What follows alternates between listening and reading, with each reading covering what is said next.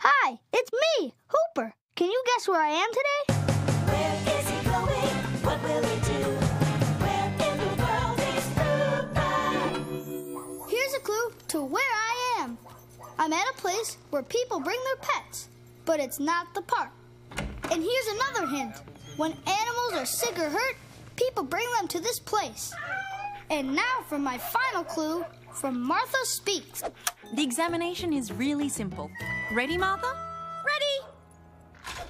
Great clue! This place has a special type of doctor. Okay, now let's go over the clues. I'm at a place where there are lots of animals. And sometimes these animals are sick. And there's a special kind of doctor here who helps them. So can you guess where I am? Yes, a veterinarian's office. Ah!